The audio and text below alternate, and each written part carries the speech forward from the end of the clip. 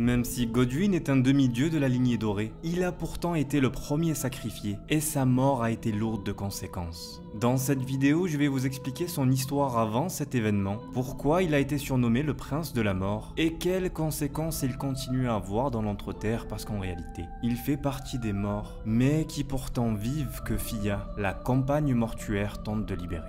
Mais avant ça, comme d'habitude, si ce type de vidéo vous plaît, mettez un pouce bleu car ça m'aide vraiment beaucoup.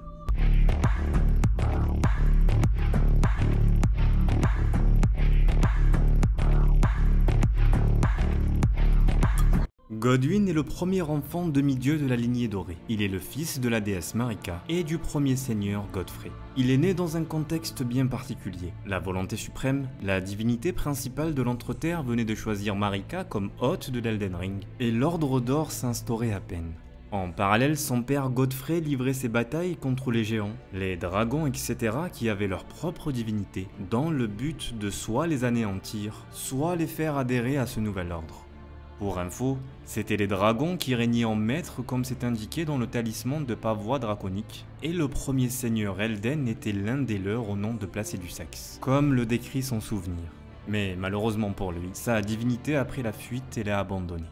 La première fois qu'on a entendu parler de Godwin, c'était justement durant cette période. Lors de ses combats contre les dragons pour aider son père Godfrey, il a dû affronter le plus puissant d'entre eux, Fortisax, un dragon très fortement attaché à la puissante incantation lance de foudre qui a fini par faire sa renommée.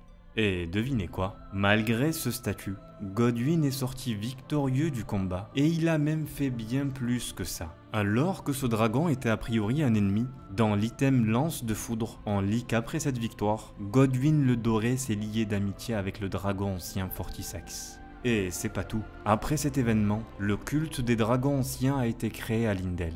Rendez-vous compte juste de l'importance de cet événement. Des ennemis de l'Ordre d'Or sont devenus presque adorés au sein même de la capitale, grâce à Godwin qui a su fédérer ces deux espèces en temps de guerre.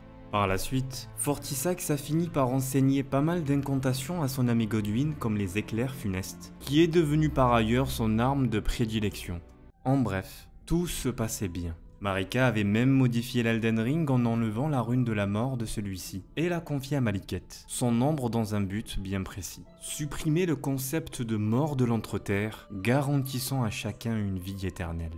Mais comme vous le savez, tout cet équilibre a basculé lors de la nuit des couteaux noirs. Des femmes, toutes sous les ordres d'Orani la sorcière, pourtant la demi-sœur de Godwin ont réussi à tuer le demi-dieu, alors que cette mort n'était plus censée exister. En fait, Rani était destinée à devenir la prochaine déesse, hôte de l'Elden Ring après Marika, mais ne supportant pas cette idée d'être contrainte à obéir à cette divinité, la seule façon qu'elle a trouvée pour lui échapper était de tuer sa propre chair. Pour réussir ce plan, elle a volé un tout petit fragment de la rune de la mort à Maliket pour l'imprégner sur les couteaux noirs des assassins. Comme on peut le lire dans l'item couteau noir, dague appartenant jadis à l'un des assassins qui tuèrent Godwin le Doré lors de la nuit des couteaux noirs. Un sombre rituel confère le pouvoir de la rune de mort à cette lame à la forme singulière. Ce rituel était le fait d'imprégner le pouvoir de la rune de la mort au couteau des assassins, comme c'est mentionné dans l'item glyphe de couteau noir. Mais Rani dans son stratagème ne voulait pas se tuer entièrement. Elle voulait tuer uniquement son corps physique mais quelqu'un, en parallèle, exactement au même moment devait perdre son âme. Vous l'avez compris, c'était Godwin. On lit dans Marque maudite de mort, cette marque maudite fut gravée à l'instant où périt le premier demi-dieu, et aurait dû avoir la forme d'un cercle. Or, deux demi-dieux succombèrent en même temps, et la marque maudite fut scindée. Rani vit sa chair mourir, tandis que le prince de la mort ne connut qu'un trépas spirituel. C'est pour cette raison que sur la dépouille de Rani vous voyez une partie de la marque, et l'autre partie sur le cadavre de Godwin. En réalité, la marque complète ressemble plutôt à ça, mais je reviendrai dessus d'ici quelques instants quand je parlerai de Fia, la campagne mortuaire. Pour l'instant, il est important que vous gardiez en tête que Godwin n'est mort que spirituellement, et il a obtenu pour ça le titre de prince de la mort. La question pourquoi Arani a visé précisément Godwin est intéressante. Je la développerai bien sûr lorsque je ferai sa vidéo, mais je suis curieux d'avoir votre avis en commentaire. Après cet événement, et comme vous le savez, Marika a complètement perdu pied. Elle qui avait que Godwin comme fils car les jumeaux Mog et Morgoth étaient emprisonnés, et la mort qu'elle a eu tant de mal à supprimer a pourtant frappé son seul fils. Elle a sombré dans la folie et a brisé l'Elden Ring. L'éclatement a par la suite commencé, et les demi-dieux se sont tous livrés bataille pour récupérer les runes majeures, dans l'espoir de devenir le prochain seigneur. Durant cette période, le meilleur ami de Godwin, le dragon Fortisax a malgré tout lutté longuement et ardemment pour tenter de sauver son ami de cette malédiction. Mais il a malheureusement échoué et a fini par se corrompre lui-même comme le décrit son souvenir. Plus tard, c'est son frère, sûrement Michaela qui a essayé de libérer son frère de cette malédiction. Ô mon frère, cher Seigneur, de grâce, que ta mort soit véritable. Aujourd'hui, des années plus tard, on découvre le cadavre de Godwin au pied des racines de l'arbre au monde. Il a une forme grotesque, très difficilement reconnaissable, mais c'est bien lui. Comme c'est indiqué dans l'item Excroissance du prince de la mort, on raconte que cette pustule proviendrait du visage du prince de la mort, celui que l'on appelait autrefois Godwin, premier demi-dieu à avoir péri. Il se murmure que sa dépouille reposerait loin sous la capitale, près des racines de l'arbre au monde. À cause de cette marque maudite, il n'a pas eu droit au repos. L'arbre monde ne voulait pas de lui, et il est devenu le premier parmi les morts, mais qui pourtant vivent. L'ordre sans la mort instauré par Marika a été brisé partiellement par Annie.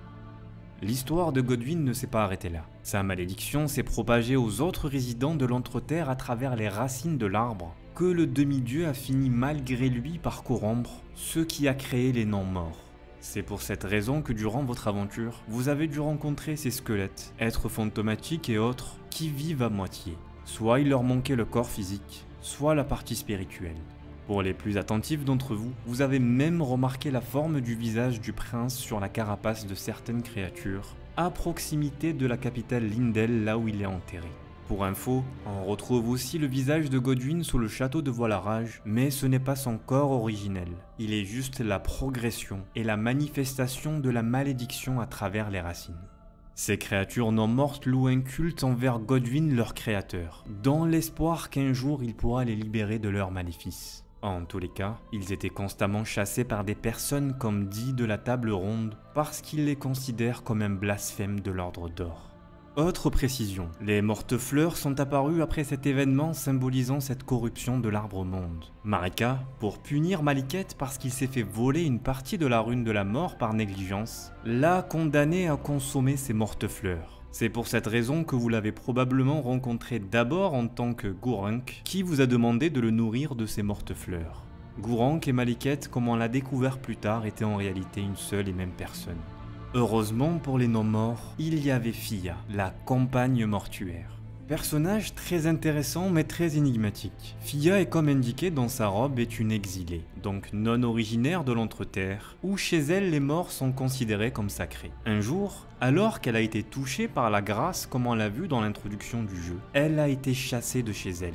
Plutôt logique parce que si les morts étaient considérés comme sacrés dans sa tribu, elle qui était touchée par la grâce et donc devenue immortelle, allait forcément contre les principes mêmes de son peuple.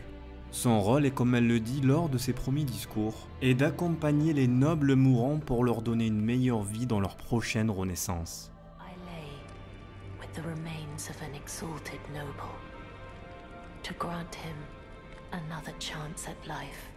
To do so is the purpose of my being. Dans l'Entreterre, elle a alors entendu parler de Godwin, le premier demi-dieu non mort et elle a tout simplement désiré être sa compagne, dans l'espoir de lui donner une vraie mort pour interrompre la malédiction et mettre fin à la haine envers les non-morts. Après lui avoir apporté la partie de la marque maudite retrouvée sur le corps de Rani, et elle à proximité du cadavre de Godwin avec l'autre partie de la marque, elle a su restaurer la rune du prince de la mort. Née de l'union de deux marques sacrées en forme de demi-roue, elle incorporera un nouveau dogme à l'ordre, la mort en tant que pendant indissociable de la vie. En gros, que chaque personne vivante pourra à nouveau et entièrement mourir, brisant la règle instaurée par Marika. Lorsque Fia a donné naissance à cette rune après être rentrée en contact avec Godwin, on pouvait intégrer son rêve mortuaire où nous avons pu affronter Fortisex, l'ami dragon de Godwin qui a veillé malgré tout sur lui depuis tant d'années. À la fin du jeu, vous pouviez restaurer l'Elden Ring en incorporant cette rune pour enfin libérer les non-morts et donner un nouveau cycle à l'Entre-Terre et à Godwyn, une vraie mort pour une renaissance. Voilà en ce qui concerne Godwyn le Doré, prince de la mort, premier demi-dieu à naître et à périr. Même si sa vie était courte, il a su montrer ses capacités au combat, son caractère fédérateur en se liant d'amitié avec les dragons, mais il a aussi été sacrifié par sa demi-sœur créant malgré lui les morts, mais qui pourtant vivent. Grâce à Fia, il pouvait, si vous l'avez choisi, goûter au repos pour ensuite renaître.